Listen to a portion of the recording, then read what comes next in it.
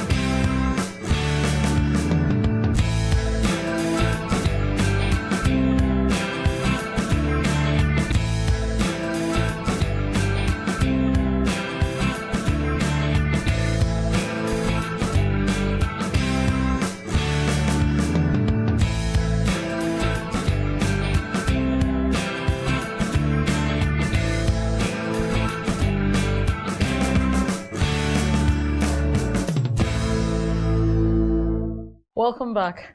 Our guest today is a scholar, a social mobilizer. He chaired the Mass Mobilization for Social and Economic Recovery, MAMSA.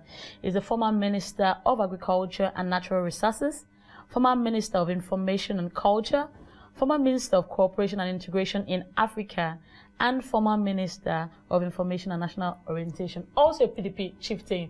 The list is almost endless. He is Professor Jerry Gana. Thank you. Thank you very much.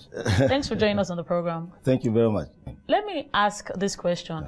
How different is Professor Jerry Gana, the lecturer, from Professor Jerry Gana, the, the politician?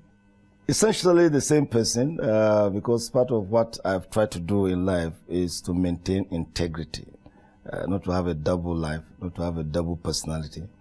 So uh, uh as a as a lecturer, I, I enjoyed my students in teaching in, uh, in and uh, relating with them excellently on the basis of integrity and honor and so on, and of communicating with them, of networking. So I've remained the same in politics. Mm. Politics really is also networking. Mm. It's also about integrity and although of course these days, funny enough, they don't appreciate core values anymore mm. as we used to do when we entered into politics. Uh, so, what was growing up like for you? Where did you grow up? Where were you born? Oh yeah, well, I thank I thank God. I, I came up from a very rural setting. As I thank God because He gave me, you know, fundamental values mm -hmm. that are mm-hmm. very very humane. Uh, I, I, I, was born in the village of Busu. Busu is uh, near Doko in Bida. We're not too far from Bida. Okay. So okay. The, Bida. Bida is in Niger State. Yeah, Bida is in Niger State, and uh, we grew up on uh, on a rice farm, and uh, my father was a rice farmer, very very good rice mm. farmer, and so I know how to grow rice very well. then I went to school, and uh, because uh, my father were first generation Christians in my area, so they knew the value of education. They did uh, mm. adult education to okay. be able to read the Bible and uh, pray and mm. take church services. So when we came on he made sure that his all his children, mm. you know, mm. went to school, mm. valued education immensely, mm. valued light of God, reading the Word. But his main essence in sending them to school that we'll be able to read the Bible. Mm, mm, but then we're going beyond uh, reading the Bible, uh, obviously. To, to do other things, although that remains the core. Uh, so uh, then I went to uh, primary school, not too far from my village. Then the senior primary school in Bida, and then I went to, uh, at that time, Niger Provincial mm. Secondary School, Niger Government College, Bida. Okay. okay. Uh, that's why I had the privilege uh, of uh, having uh, school uh, mates then, but certainly they were elders and head boys. Mm. General Ibrahim Babangida okay. was our head boy in school. Oh, General wow. Salam Abubakar, mm. he was our mm. goalkeeper. Oh, nice. and so many of them, mm. the fascinating thing is that their set ahead of us mm. went into the army. Oh, So, so many generals. Oh. The next set, our own set, about two, three sets, uh, you know, Went into the know. Went, went to the academia. So we are professors, they are generals. Who were some of your earliest influences? People that you would say influenced you as a child and, you know, have formed the man that you've now become. At various levels. At the family level, my father.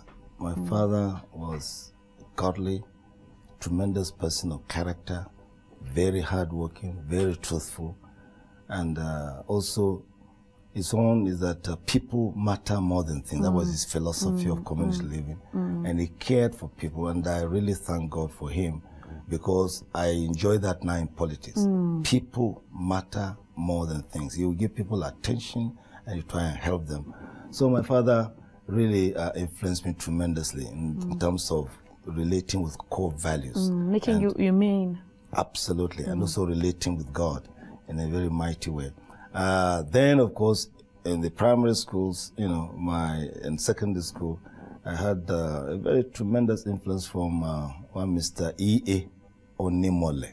He came from Lagos, but uh, you know, he was all over in the northern states. Then he was in Government College, Kefi, in Zaria, been to so many places. Then he took very serious attention on me and brought me up like a son. Then, of course, at the university, Professor Ishaya Audu, my vice chancellor, became a role model, a role model of excellence, of intellect, of integrity, of honor, of tremendous, you know. But I, I love him so much. I named my first son, firstly after him. Oh, all right, so cli- climbing the ladder politically, would you say you had political mentors, people that you looked Okay, up to politically? coming to politics now. Uh, uh, basically, uh, in, in politics, uh, I entered politics uh, through the Nigerian People's Party in those days during the Second Republic in 1982-83, and the Great Zik was really uh, a, a tremendous, you know, influence uh, on us because we, we appreciated uh, the profundity of thought, uh, the tremendous values, the, the articulation of ideas, the emphasis on programs, his, uh, his view of man within the setting. Zik was tremendous. Then, of course, Chief Solomon Lar, uh, is, uh, of a blessed memory like Zik, was a tremendous influence because he taught me the power of not giving up, be sustained, strong, principled. Chief Solomon Lar was strong. Then Alhaji Abubakar Rimi also greatly influenced me because he had a tremendous anointing to relate with the crowds. he was charismatic. And in politics, he used to be also charismatic. And uh, he was a tremendous influence in terms of addressing crowds and making sure the masses are moved. Yes. So, uh, growing up, did you have any kind of nicknames, funny nicknames people called you? yeah, you're laughing. I'm sure there's a very funny one there. no, no, I won't tell you. but they're all good ones, actually. I grew up to be a very nice person. And uh, basically, the, the nickname in my own uh, language would mean, you're so nice, you won't touch a fly. You know? But then they took advantage of me because of that. I can so, imagine. so later on, uh, in the higher school certificate, uh, you know, I said, no, no, no, I have to. Uh, you have to grow a thick skin. That'll be tough. In, in, how do you get away from politics? If you wanted to, you know, just relax, what do you do for relaxation? How do you get away? I love relating with fellowships in my church. Uh, I'm a lay preacher, and uh, so it's not relaxing, but really it's another thing, and it's a tremendous way of also restoring my joy, my peace, my you know other things that. Uh, so I have that. Uh, I, I, I love uh, the tremendous uh, attributes of being a, a, a gracious person in raising other people, relating them in fellowships, in praying, in studying the Word of God, in singing. Uh, don't tell me to sing. Do you enjoy music? I enjoy music. What lot. kind of music? Uh, all range because but uh, uh, uh, essentially classical uh, and uh, you know worship songs. So let me ask you, you know, what inspires you? What, how do you draw your inspiration? Where do you draw your inspiration from? essentially from the Lord. The Bible, as the Word of God, is the tremendous source of inspiration. God inspires, He speaks to us in His Word through the Holy Spirit. So, my most profound way of inspiration is really listening to God in His Word, in my prayers, in my meditation. That is the primary area. But of course, beyond that, you also have philosophers who uh, have affected one's social thinking and political thinking. I love reading. I have a wonderful library. Sometimes I get by myself to, to read. So, and then of course, you listen. Uh, uh, it's very, very important to listen to others. Uh, sometimes uh, it's, it's amazing how ideas come as you listen to people talk or sing or do something. Hmm. Tremendous. All right, tell me, how did that journey into politics go? You know, from you're moving from the academia into politics. Hmm. How did it I go? was hoping you won't ask. well, essentially, it was uh, a peer group, not pressure this time, hmm. but thinking and praying together. The Faculty of Social Sciences, which I belong to in Ahmadu Bello University, with friends like Bala Usman, Adi Aya, and a number of others, were deep thinkers. You know, we, we were thinking tremendously about the nature of our society. How do we transform it? How do we, uh, um, you know, lead the way to really, as it were, move it to another level? And that was a very robust kind of debate. That's at the, the intellectual level. And then, of course, I had a strong fellowship. Uh, some of them at that time were younger priests are now bishops, archbishops, but they were in our team. And uh, they were my prayer partners. So you can see there was an intellectual, you know, group uh, debating the ideas, the issues, you know. We were, those were socialists. and uh, some like Bala were basically Marxists. And, uh, but the ideas really were very profound. Then my spiritual group, the praying group, also thought that we must influence society. The opportunity came, uh, or the challenge came uh, in the Second Republic. Uh, then we have to mobilize our people, first of all, to the Constitutional Conference uh, in 1977 78. Uh, then, of course, uh, in 79, the new constitution. Uh, we were the intellectual group that uh, informed the formation of the Nigerian People's Party. We didn't go in, but we were pre- preparing most of the papers, most of the program, most of the manifesto. Then in 82, uh, my colleagues praying with me said, ah, Jerry, you have to get you in there to contest.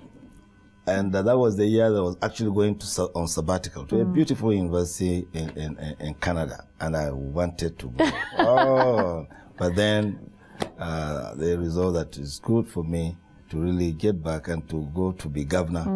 You know, so really I went to challenge uh, to you know become a candidate for governorship in my state, but uh, uh, an older person because I was talking about in my 30s then. I wasn't 40 yet. Um, an older person uh, who was the permanent secretary, because of the realities of the local politics, they felt he should be the governorship candidate. So I, went to the Senate. Mm. You've held various positions in, in, in the Yeah, country. yeah. Which would you say you found most challenging? Minister of Information. Mm. Because the Nigerian public is a very, very tough public. Every outing is an examination. Mm. Every sentence is a, is a judgment. You have to watch what you say, when to say it, how to say it, where to say it. Well, in trying to do your job, did you feel at any point that you know you were being misinterpreted? a lot, uh, you know, especially in the Ministry of Information. Uh, people don't remember contexts of what maybe you make a, made a statement. They forget about the context, uh, the context of where you know when you made it and what led to it. Mm-mm. This is what it is. So you have to be explaining. And then Nigeria is so full of rumors. You know, and all sorts of what uh, I think another president is calling fake news. and it can be very, very tough. But you know, once uh, you are truthful, the truth will set you free. If whatever you're doing is truthful, you, you find that in fact it explains it. So I never really, as it were, uh, had the kind of challenge that I would regret. It was a challenge, but I always had a tremendous time with it. Most Nigerians remember me most mm. as Minister of Information. Yeah, although I've gone to other mm-hmm, ministries. Mm-hmm. Uh, they remember me as also chairman of MAMSA. Yeah. Although I've done so many other things mm-hmm, after MAMSA. But uh, uh, it means that the that level of impact and communication was effective, and I thank God for it. Mm. All right, we'll go on a short break now. When we come back, we'll be speaking, still be speaking with the former Minister for Information and Orientation and PDP Chieftain, Professor Jerry Gana. Stay with us.